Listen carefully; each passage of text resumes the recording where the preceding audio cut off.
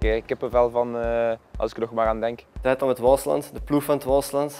Lokeren is, is een woord dat wij niet graag horen en uh, dat bij ons eigenlijk, uh, hoe moet ik dat zeggen, met het slechte geassocieerd is misschien het verkeerde uitdrukking, maar toch niet echt uh, het positieve bij ons naar boven brengt. Lokernier met één of met punten laten naar huis gaan, ik denk dat, uh, dat daar niemand op rekent. Dat is uh, nergens ingecalculeerd.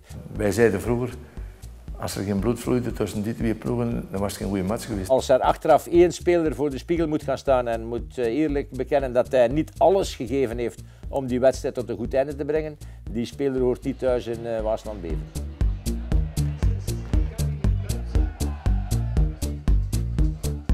Ik denk dat elke club wel zo'n uh, een vijand heeft, een gemeenschappelijke vijand. En uh, bij ons is dat natuurlijk uh, is dat Lokeren. Voor de club op zich kan je misschien stellen dat het, dat het een wedstrijd is hè, waar drie punten te verdienen vallen. Maar het is veel meer dan dat. Hè. Het is zeker voor de supporters veel meer dan dat. Het is, het is de Waalse derby.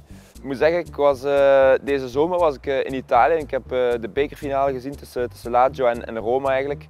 En, ja, dat is leven en dood. Iedereen is daar weken mee bezig. Als de kalender uitkomt, dan beginnen we te kijken wanneer is tegen Lokeren. Dan we ons kunnen klaar hadden voor de match van het jaar. En ik weet ja, wat, het, wat het voorstelt. Uh, ik heb uh, tranen gezien bij mensen na de wedstrijd en zo. Dus dat raakt u als speler. En uh, daar ga, wel, in een, ik ga daar wel zeker aan denken zaterdag voor de wedstrijd.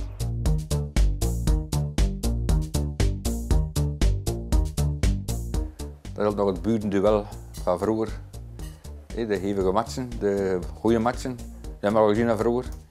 Stevige duels. Dat is iets dat zal denk ik van, van, van, van generatie op generatie meegegeven en dat blijft toch altijd een beetje hangen. Ja. Het is altijd iets speciaals geweest, dat is al van oudsher. De supporters leven daar naartoe.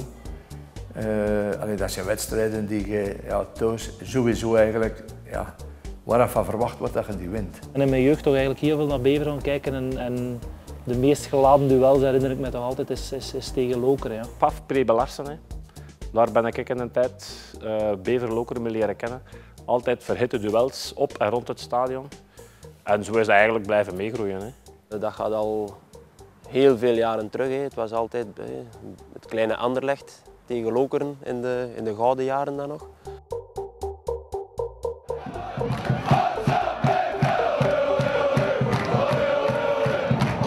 Wij langs onze kant in elk geval, naar onze spelers toe, zullen er alles aan doen om, uh, om iedereen 100% scherp aan de aftrap te krijgen. Dat is duidelijk. Ik hoop uh, dat iedereen het belang beseft.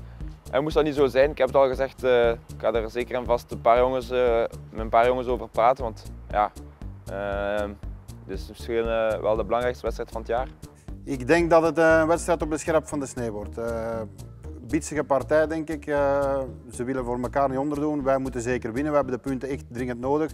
De punten zijn echt nodig. Dus Lokeren heeft ook de punten nodig. In de, laatste, allez, in de 92e minuut hebben ze tegen Gent een tegentreffer gehaald. Ik denk dat dat zaterdag misschien toch nog met iets meer, meer uh, passie gaat zijn dan anders. Uh, niet alleen voor die punten, maar ook omdat het tegen Lokeren is. Ja, een match, een match waar toch wel strijd moet geleverd worden op het veld. Ik denk, uh, gezien de situatie uh, is, het, uh, is het nog meer dan ooit een wedstrijd op, op leven en dood eigenlijk. De match op zich, ik denk dat het een evenwichtige partij, ploeg, partij wordt. Waar beide ploegen echt wel naar die overwinning willen gaan. Lokeren heeft 1 op 12. Wij moeten winnen, want we hebben nog maar één overwinning, vind ik persoonlijk. En ik denk dat we er zeker voor moeten gaan en dat we ons eigen spel moeten spelen. En dat uh, het resultaat dan wel gaat volgen. Ik hoop een goede wedstrijd en ik hoop uh, op drie punten voor ons. En ik hoop, uh, ik, zei ik hoop twee aanvallend ingestelde ploegen en, en, een leuke wedstrijd om naar te kijken met Beveren als winnaar, Was van Beveren als winnaar. Op uh, kent je eh, kent dat, juist op het toelaatbare zal het ook wel gaan. Niet alleen voor die drie punten, maar ook ja, ja, in het Waasland willen wij ook wel een woordje meespreken. En uh, ja, de, liever twee dan één woordje. Ik denk niet dat uh, Lokeren uh, hier open gaat komen spelen. Ehm, ze hebben de laatste, ja, de laatste wedstrijden toch ook niet echt een, ah ja, toch ook niet van hun beste kant laten zien. Ik denk dat het toch wel een scherpe wedstrijd gaat worden, waar ze van in het begin te hard tegenaan willen gaan, maar toch met de nodige voorzichtigheid om niet snel een goal te pakken. Mistaken for a vision. Something love my own creation. Natuurlijk, dat leeft hier nog altijd natuurlijk. Als je dan op Facebook kijkt, op die mannen van Blokkie of gewoon op, op, op Oosland Beven, iedereen kijkt er naar uit. Je merkt het wel, ja. Je merkt het wel dat er uh, in de aanloop naar die match dat die interesse er is. Uh, zowel qua, qua gasten, qua eters als uh, supporters op de tribunes. Dat zijn andere wedstrijden tegen anderen. Logan leeft die nog, dat is, dat we willen winnen, we willen die mannen punten af, afnemen. Ja, dat leeft hier enorm. Uh, ik denk dat dat een jarenlange rivaliteit is geweest. Het is een aantal jaren weg geweest dat we in de tweede klasse zaten en Loker in de eerste.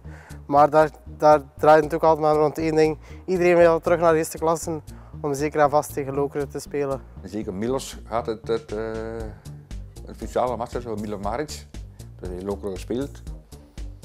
En heeft gezegd dat uh, we tegen Lokeren tracteren met champagne. Dus het leeft hier heel echt. Je voelt dat onder de supporters, als die wedstrijd nadert, dat, dat, uh, ja, dat, dat begint, uh, de spanning begint te snijden. Die wedstrijd moet gewonnen worden. Dat is nu eenmaal ja, voor ons een wedstrijd dat heel belangrijk is. Hè.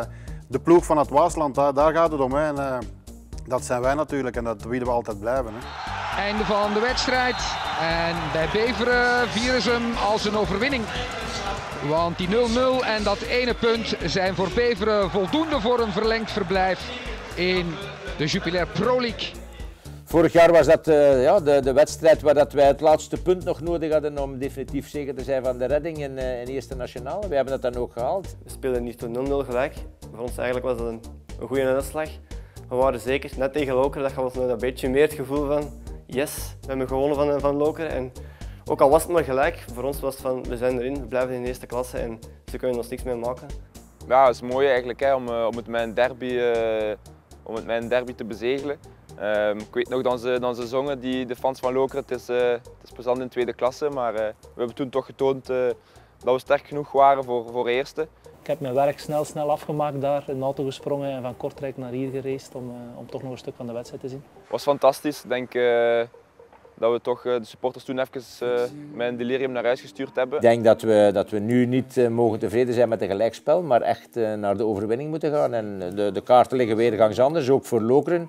Lokeren heeft ook 1 op 12, uh, staan ook niet uh, natuurlijk uh, met dat enorme vertrouwen te, te spelen. Vorig jaar een enorme ontlading hè, van wedstrijd gelijk spelen, behoud verzekeren.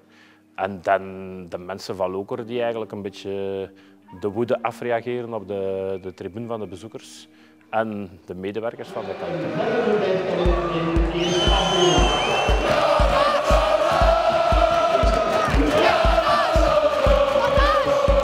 Ja, goed, we gaan, uh, we gaan de, de, steun van de fans enorm hard nodig hebben. Uh, het, maakt u, het maakt u zoveel sterker als, uh, als je eigen fans ja, je toejuichen en, uh, en je aanmoedigen. Dus ja, we gaan dat zeker en vast kunnen gebruiken.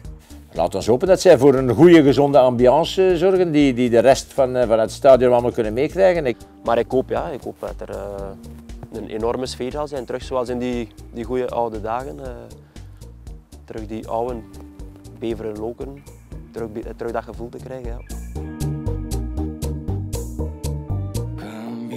Komt op een 1-1 houden. 1-0. 2-1 voor ons. 2-1. Ja, mijn pronostiek, uh, ik denk uh, dat dat uh, 3-2 gaat zijn.